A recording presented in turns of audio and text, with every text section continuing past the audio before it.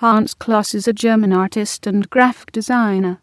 He is best known for his large paintings combining medieval and modern styles.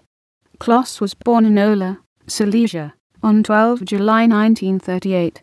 He trained as a ceramics painter and studied at the Fachschule für Tilde 1 Art Gestaltung in Stuttgart. In 1953, he settled in SCHWA tilde symbol GMA tilde 1 Ende a town in the eastern part of Baden WA tilde 1 4th Rottenburg. In 1969 he moved to the neighbouring town of Lorch, where he has resided since.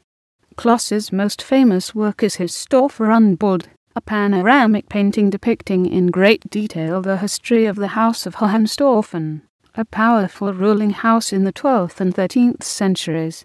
Located in Lorch Monastery, his panorama is 30 m long and 4.5 m tall. He started the painting in 1997 and completed it in 2002, the 900th anniversary of the monastery.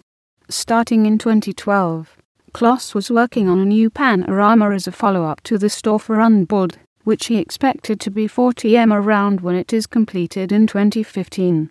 A monumental altar of his, in the style of Jeb was bought by the Sammlung WA tilde 1430H in 2004.